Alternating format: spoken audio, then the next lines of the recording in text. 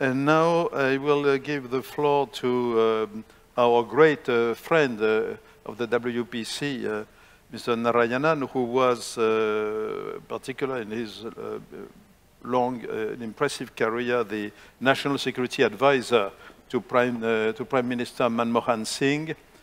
And um, the, the, the, the position of India is particularly important these days uh, not only vis-à-vis -vis, uh, China, but uh, also vis-à-vis -vis the current Ukrainian war and, and, many other issues. So I am very pleased to give you the floor. Thank you, Monsieur Thierry. Thank you for this very generous introduction, which I don't deserve. Uh, I hope it permit me to make a few specific opening remarks. And uh, having been behind the scenes for over 60 years of my life and career, I have some prepared remarks which I would. Uh, I almost seem to have anticipated what you, you mentioned when you said just now. What, what do you mean by the Indo-Pacific? And why the Indo-Pacific? In India, in the concept of Indo-Pacific is generally seen as a geographical space rather than an artificial construct. Not seen as, as evidence of, a, of what you call a group of nations ganging up against China, but it, is, it was seen as a means of getting uh, countries which have similar thoughts and ideas together.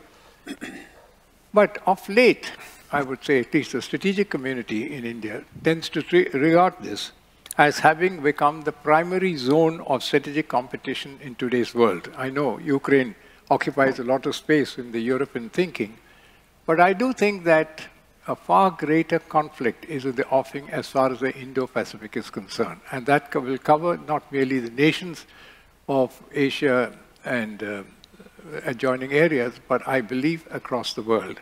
So for that, for that reason, why do I say this? Today, unlike in the case of Ukraine and, uh, and Russia, where the, the rules, I mean, the, the lines are drawn very clearly, in the Indo-Pacific, what we have is a greater contestation and debate as to two basic philosophies that are present, and not really in terms of the military per se. And it's about the rules of international order. We have not gone into a major war as such, but the rules of inter international order. Who decides to draw the lines as far as the world is concerned? And more importantly, who is allowed to write the rules? Because if you do, if you have the right to write the rules, then what they say is right. So I think that's the major importance of what we mean, to, mean today by the Indo-Pacific. Coming to the next aspect, I would say that India has generally been allergic to alliances of any kind.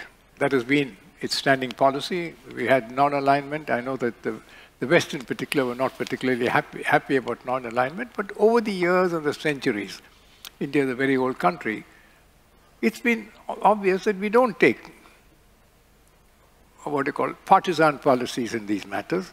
We like to take, take up issues rather than have alliances of various kind. But a few years ago, India decided to become a member of what is generally referred to as a Quad, but the, the full terminology is the Indo-Pacific Quadrilateral Security Dialogue. The other members of this are the United States, Japan, and Australia. Initially, it was conceived as a means to strengthen the democratic forces in the region, without specifying China, but obviously it was intended against China. But at, at that time when it was conceived and for a few years thereafter, India did not subscribe to the view that Quad should be viewed as a, define, a defense alliance. Today, however, I think India is shifting its posture in this regard. Why do I say this? Because if you look at the way India is progressing today, the scope and ambit of India's defense diplomacy has vastly expanded. We have what is fairly well known in, in our part of the world, the Malabar naval exercises. I think my two co-panelists would, would realize it. And that has been expanded. We now have Australia and Japan as members of the Malabar exercises. India and Japan and India and Australia have also now endorsed the 2 plus 2 format, the US 2 plus 2 format, so as to include their defense ministers alongside their foreign ministers in the dialogue. Today in the Indo-Pacific, we have separate from the Quad, the US, Australia and the UK who have a separate defense pact, the AUKUS as it's called, AUKUS. All three members of this pact are treaty partners. And objective of the alliance is therefore clear, it doesn't have to be specified. What I would like to put forward, put, put out at this point is, whether it is a Quad or the AUKUS, I'm unsure what it would be the impact of this as far as limiting China's aggressive designs are concerned. And I think this is a matter which can be debated. What is of greater, what should be of greater concern at least, is the rapid pace at which China is pursuing its revolution in military affairs. I think this is going on at pace. I don't think it finds adequate mention, at least in the general writings that are, that are present. And much of it is driven by uh, artificial intelligence systems and what permeates from through the various channels that are present. It, it is quite frightening and in many ways is far advanced than every other country in the world with the possible exception of the United States. There is also China's escalation domination matrix in which nuclear weapons and new forms of hybrid warfare form a constituent part. Not much advertised, but nevertheless present as far as we are concerned. Most important is China's total disregard for international covenants, as also its willingness to use force to achieve its objectives in the South China Seas. All, th all this is, in a sense, leading India to visit or revisit some, some of its concepts. The China-Taiwan tensions do not impact very much as far as India's diplomatic overreach is concerned. But we have very warm relations with Taiwan, and China's oft-repeated threats to invade Taiwan by force does un under, underscore the idea that, that it, this is a matter of strategic importance for all nations in the Indo-Pacific.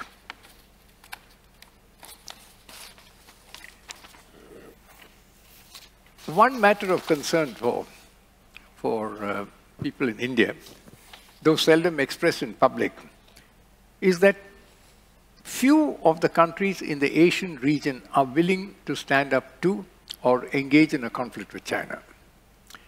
India views this as indirect encouragement to China to act with impunity and to disregard the views of its Asian neighbors.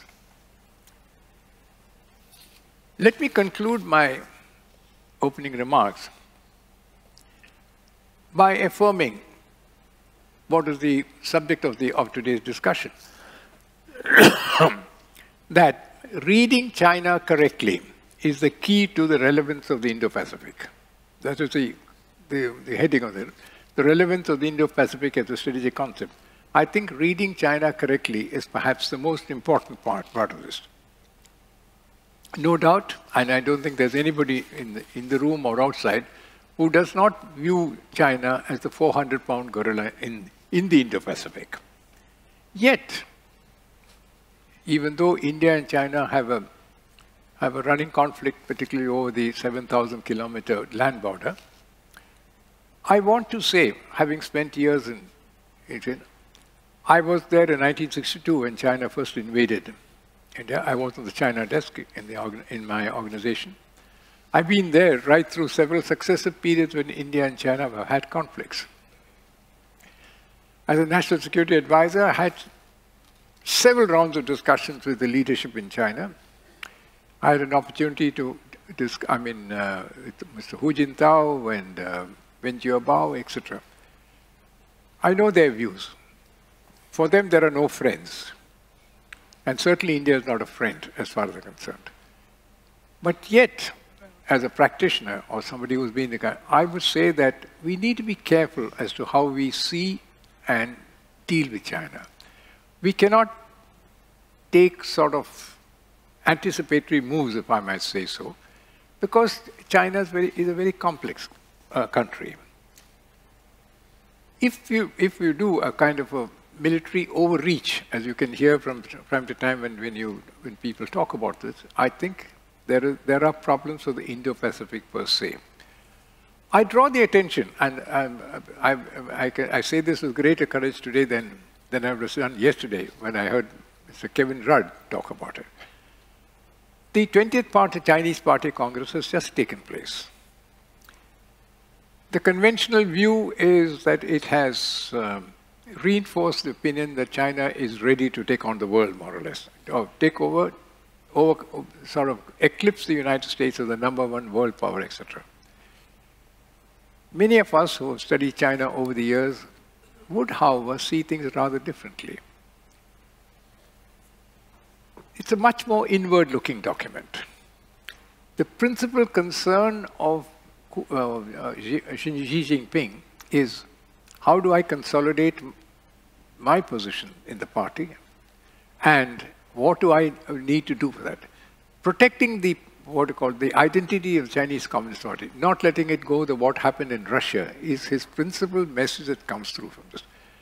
I would therefore say that rather than looking at it purely from the point of view, how do we tackle uh, China's aggressive designs, we must understand what China is about and how do we deal with it because the, geos, uh, the geostrategic concept of the Indo-Pacific is very important for most of us who, who live and have to consider living in that region. Thank you very much. Well, thank you very much for this uh, most interesting uh, presentation.